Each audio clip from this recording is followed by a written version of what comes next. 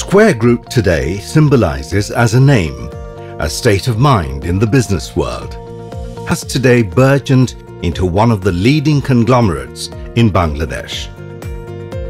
Square started in 1958 by my father with three of his friends.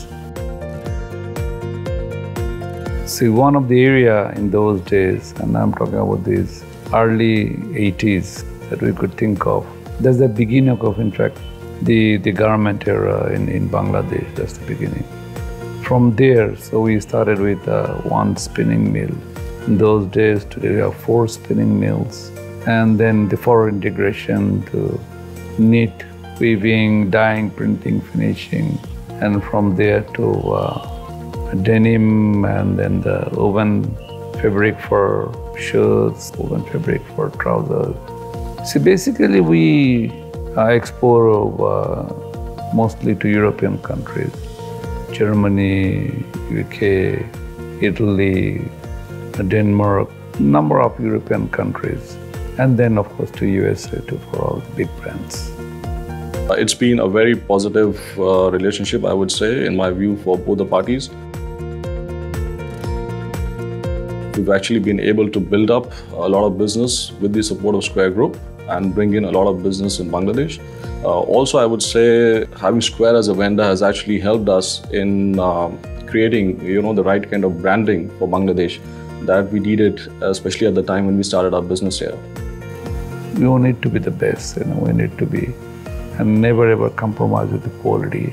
The people that work with, as long as you take them as your own family members, and that's what our founder chairman he has always practiced, and, and still we are practicing the same philosophy.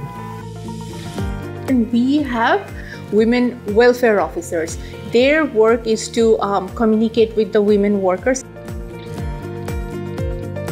If they have any problem in their workplace as well as in their family, so they can come and talk zero discharge and hazardous chemical control. We keep our hazardous chemicals in a certain way so it doesn't harm any of our workers, even when the workers are working in the factory. All our factories uh, use ETP plant, which is effluent water treatment plant.